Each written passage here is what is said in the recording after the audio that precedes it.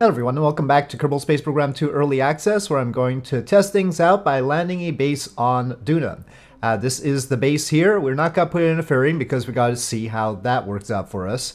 And it consists of the large hydrogen tank, the spherical one, uh, some of the nerves, four of them, and uh, there is a command module in here, that's the Mark II lander can, and then these uh, Wanderer Mark III lander cans, and we've got four of them attached to it, and we've got one strut to e between each of them and the Mark II lander can, and then also struts between each of them and the sphere. And then we've got some antennas and of course the nuclear reactor on top because why not? Uh, so we'll see how unstable this whole thing is. I'm I'm guessing it's going to be maybe unstable, but maybe it won't be. Let's find out.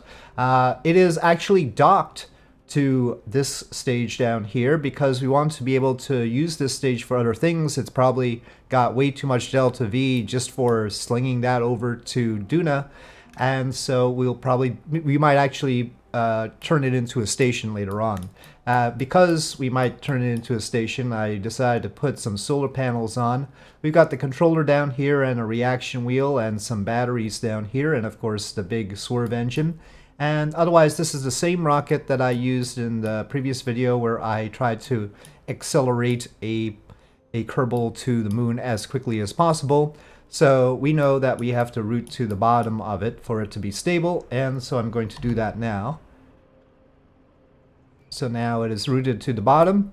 Maybe that'll still be good, or maybe this is going too far as far as stability is concerned. We are at the Duna window, and if this works out and we land this over at Duna, we will continue to build up our Duna base and see whether it's going to be more stable in this version than my previous moon base was a few versions ago. I had built a moon base, though it had a tendency whenever I sent a new module to it for things to explode or clip into the ground and such, but maybe things are a little different this time. So alright, let us launch. Delta V is not an issue.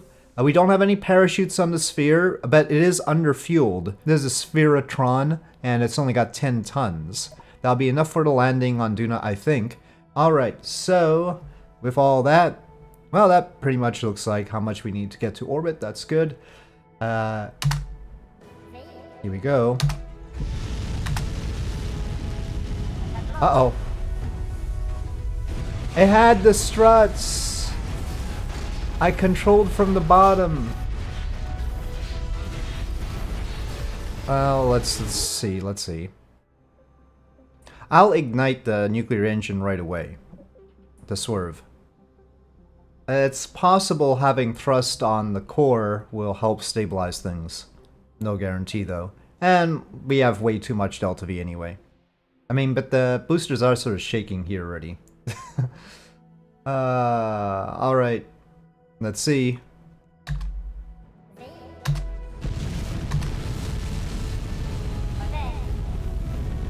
Oh, why, why, why is it different now?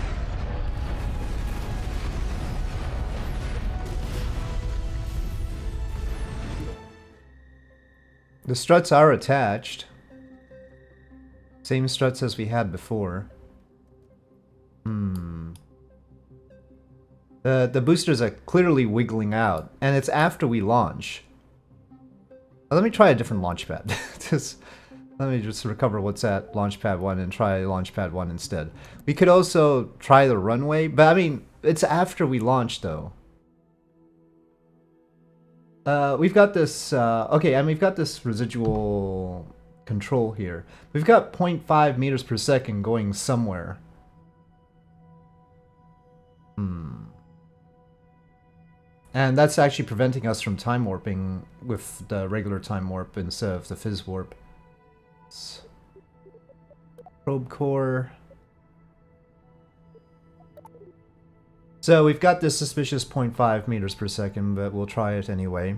But I'm expecting the same result.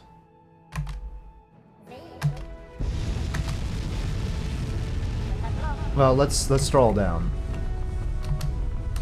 Okay, not that much. I think pad 1 is better. okay, but we're, we're getting wobbly. We're getting wobbly. I mean, this is not a surprise. I mean, it probably should get wobbly. I mean, this, we've got a big sphere at the top, for heaven's sakes. I'm not blaming the game for this. This It should be wobbly. This should be a wobbly rocket. Uh, okay, okay, okay. Maybe we're through the worst of it, though. I mean, not only have we got the spherical base at the top, we've also got it on docking ports. I will deorbit the boosters this time. That's probably good enough for them.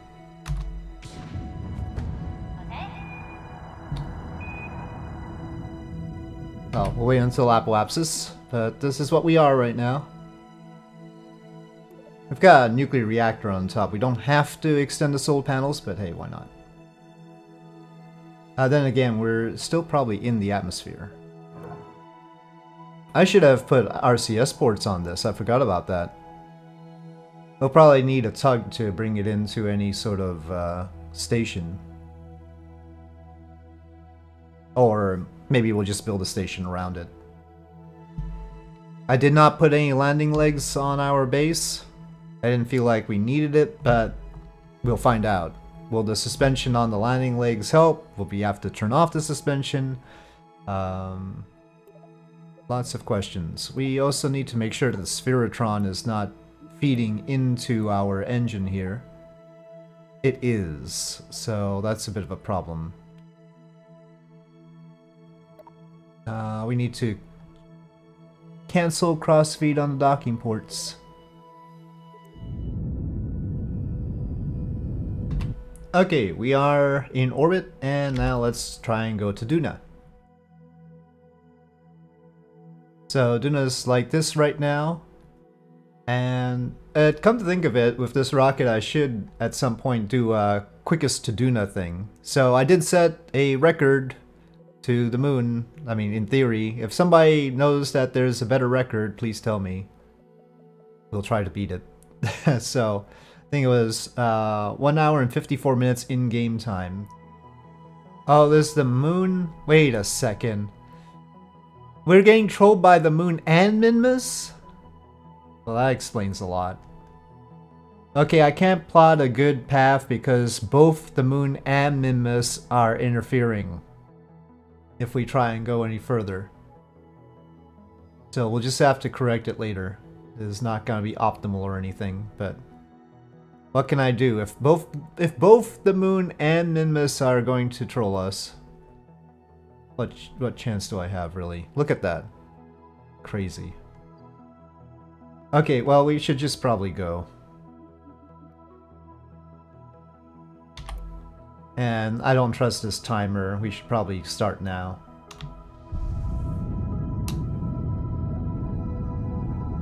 But yeah, you can do a lot with 10,000 meters per second of Delta V. I am not worried.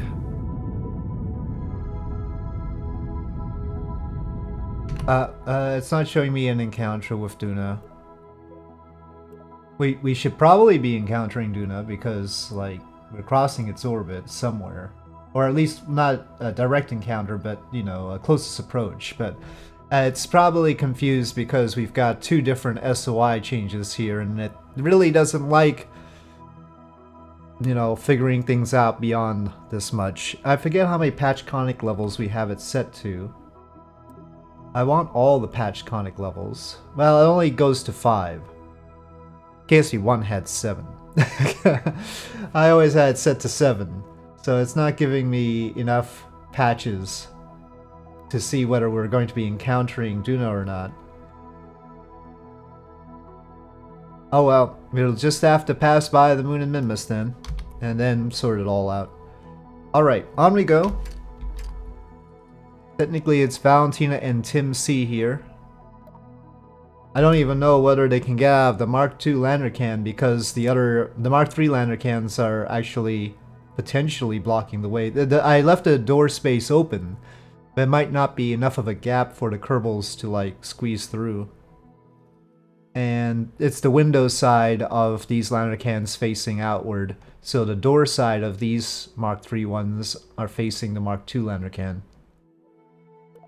Oh well, uh, we can maybe plot something now. Okay, well we have an entering SOI thing there.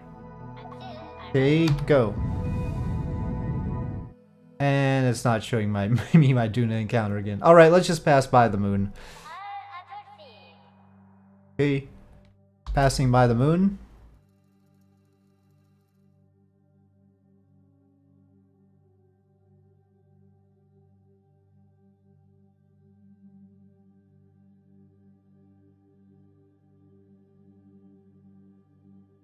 Alright. The moon and Kerbin behind us here.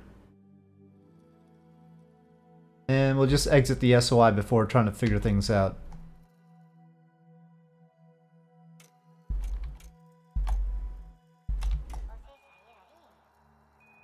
Okay, well, we're pretty close, but not close enough. So I'll just plot a little correction here. Alright, well, that should get us into the SOI, though it's not making that super clear. I probably shouldn't have all that monopropellant, but whatever. We'll pretend they're supplies, or it's supplies. Always felt that Kerbals would drink monopropellant.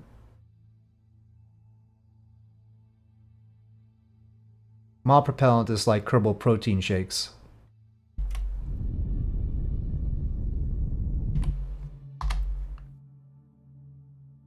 Okay, well it says periapsis 19,000 kilometers. Doesn't really show, oh it does show it in here, but not the number. Um, we'll just go into Duna SOI and figure it out. Looks good for now.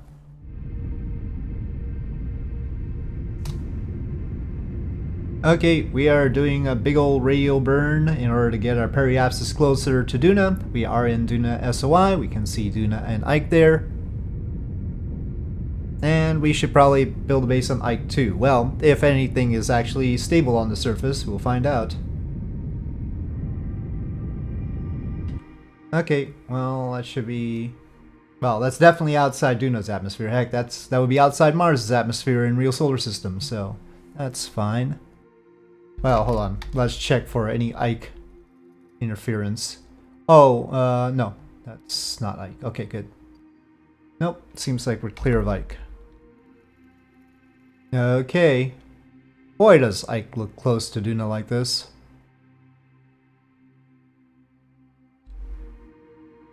Okay. We're fairly equatorial. That's not too bad. Okay, we are in orbit. Okay, well, we'll round it out at the periapsis and then try to get a landing in. We've got 9 tons of propellant in the Spherotron. Okay, that's pretty good. Uh, we'll wait until we're just coming into the daylight side and start our landing. We'll de we'll undock and deorbit. And maybe I should save the game. maybe I should save the game right before we do that.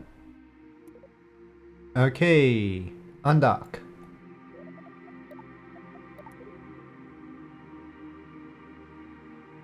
Well, it switched to this pretty promptly. Were we really controlling from that at some point? I don't know. Okay, well... Yeah, well these engines aren't activated. Let's try that. There we go. Alright, our mothership is behind us. And I'm tempted to flatten this out. Let me set Ike as a target. And the reason being, you know, we want to land other bases here later. Got 2,000 meters per second, it says. That seems fine. Okay. That seems to be what we planned. Uh, I don't really want to land in the midst of those sorts of craters, but seems like our path here is mostly clear. So, okay. Let's find out. That we don't need anymore. Retrograde is good. Will we have a base on Duna? Let's find out. Will it hop the next time we look at it? That's that we won't find out just yet. Okay, coming in. And we are in the atmosphere. Manual. Oh gosh, maybe manually controlling it is not so good. Oh. Uh, okay, fine. Hold retrograde, jeez. Okay, I don't like this speed, so... Uh, uh-oh, uh-oh. Um, I, I foresee a problem here. Uh-oh. I, I did not want to be spin stabilized. Uh, is this enough deceleration?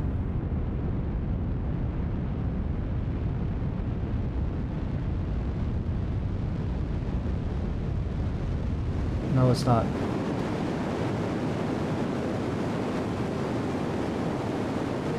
But we're spinning.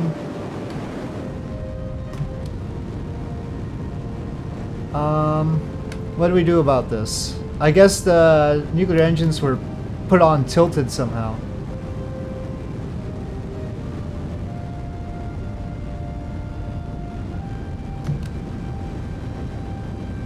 That looks bumpy too.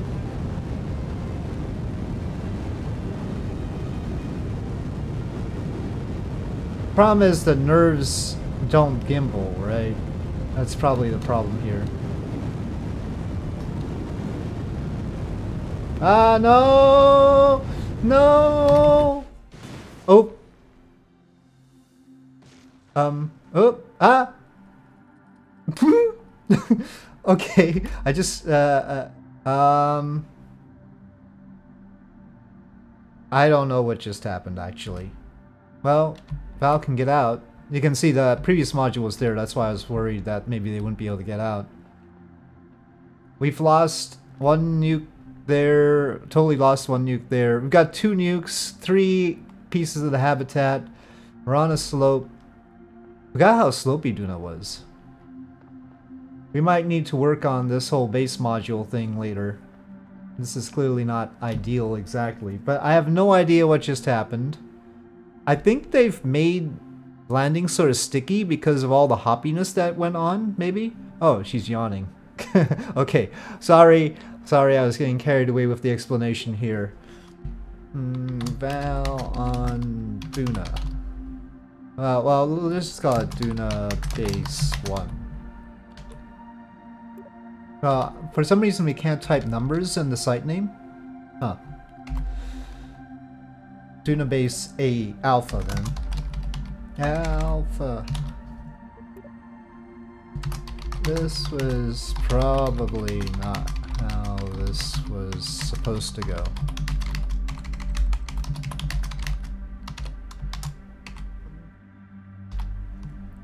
But then again, in Kerbal Space Program, what goes exactly how it was supposed to go. Alright, there we go. We'll have Val back into the habitat. And actually, uh, my intention was that they would eventually use the fuel tank as an extended habitat. It'd be like a wet workshop thing. So the whole thing, you know, it'd, it'd be emptied of the hydrogen and they could use the whole thing as their little habitat area. Uh, yeah, well, this wasn't ideal, but uh, apparently there was some tilt to the nuclear engines. They, they're glowing a little bit too. And yeah, I forgot that the nerves don't really do gimbling. Gimbling would have helped. So maybe next time we'll put RCS thrusters on and put our uh, mod propellant. Well, we already have a lot of mod propellant, so we just really need to put RCS thrusters on here to counteract the roll and try and figure out where the tilt for the roll was coming from. It must have been just a little bit. They must have been just a little bit off or something.